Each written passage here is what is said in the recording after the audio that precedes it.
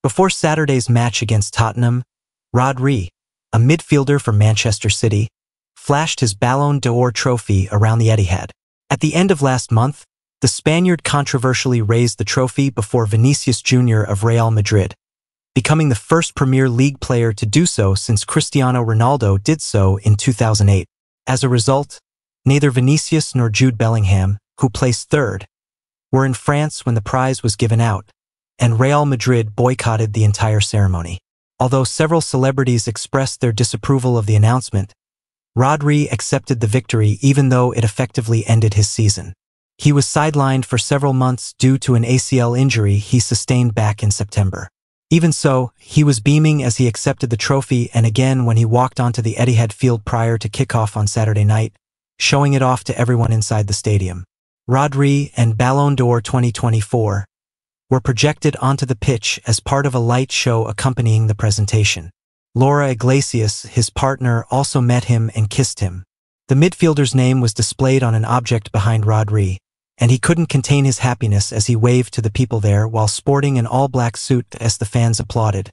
He waved to them, kissed his trophy, and punched the air. Just prior to kickoff, the 28-year-old returned to the field of play after his manager, Pep Guardiola, had just signed a new contract extension and arrived to a boisterous reception. Before he departed the field, each player congratulated him once more after his teammates, who were just about to play, gave him a guard of honor. It seemed as though Erling Haaland was making a joke about staying on the field.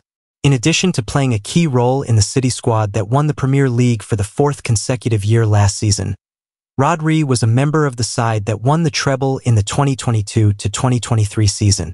In addition, he was named player of the tournament at Euro 2024 after assisting Spain in defeating England in the championship match. If I have to, I'll do it 10 times. Vinicius broke his silence on being passed over for the award by posting on X, They're not ready, raising the possibility of future triumphs. After guiding Madrid's front line to a La Liga Champions League double, he was a clear favorite to win it.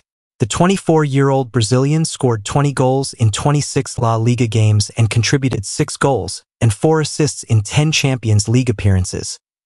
However, Rodri has been essential to City's success.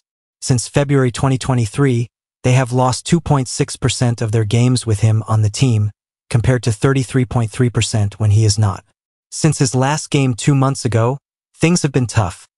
City is currently in second place in the Premier League standings, five points behind leaders Liverpool. Additionally, they have dropped their last four games in all competitions, including two Premier League games, one Champions League match, and one League Cup match. They suffered a 2-0 early deficit against Tottenham at home in the Premier League on Saturday, which made matters worse.